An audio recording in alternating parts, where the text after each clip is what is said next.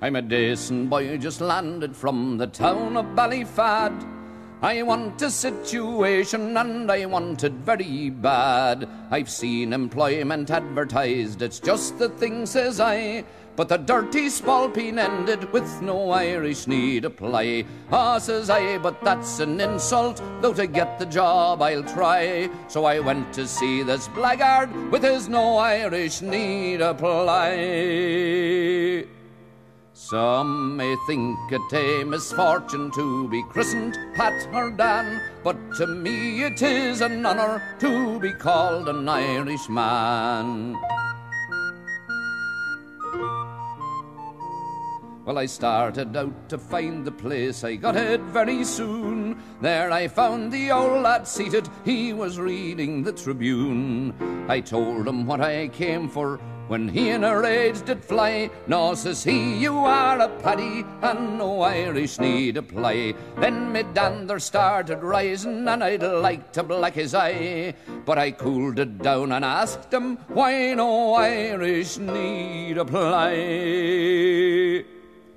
Some may think it a misfortune to be christened Pat or Dan, but to me it is an honour to be called an Irishman. And says I to him, your ancestors came over here like me to try and make a living in this land of liberty. They were greeted here with dignity and taught to reap and sow by the Indians who owned this land. They didn't tell you no. But I'll get a job in spite of you, for I've willing heart and hand. Thank God there's better men than you all over this great land.